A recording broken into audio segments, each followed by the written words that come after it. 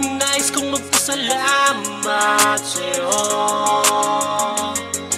Sa araw-araw mong gabay Sa araw-araw mong bigay ng pagpapala mong taglay Sa tuwing biglang dating Mga suliraning hatid ay madilim. Ngunit di mo pinabayaang malugmok lang sa lungkot Ng problemang nag-aalok ng pagmukmok. Salamat sa mga palatandaan yung dala. Kung paano mo sinasabi sa akin nandyan ka. Kung paano mo tinuro sa akin madama kita makakalimot sa'yo Noong panahon ngayon, sinabi ni Jesus sa mga nakakalimot alagad, sa'yo Kung ako'y kilala ninyo, kilala na rin ninyo ang aking Ama.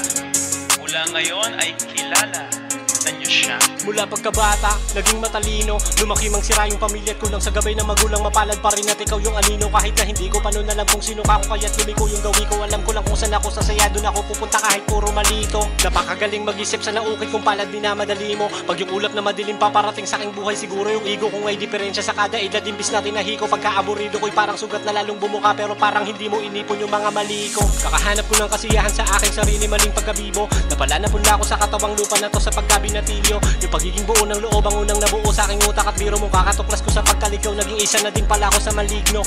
Napakapusok puso palaban. Mga mapuot sa buhay dinamdam. Kaya nabusog yung dala kong karanasan. Kung kaya kapag humakbang Magaan, minsan, tinanong Hanggang kailan? Pa kaya akong ganito. Sa gusto ko na makamtan Hanggang tinaramdam. Mo na lang Sa akin na huwag kalimutang ikay nandyan lang. Naging bulag man akong kilalanin Pangalan mo di yung naging dahilan. Di mo pa rin tinataliguran Landas ko at ang siyang Mga dapat kong gawin at sundan. Mailigtas mo lang. So ini-encourage tayo but still be connected. At ang susi dito palagay ko ay yung hindi mawala talaga ang pagmamahal sa ating Sa puso. biglang dating Mga suliraning hatid ay madilim Ngunit di mo pinabayaan Di makakalimot sa'yo Di makakalimot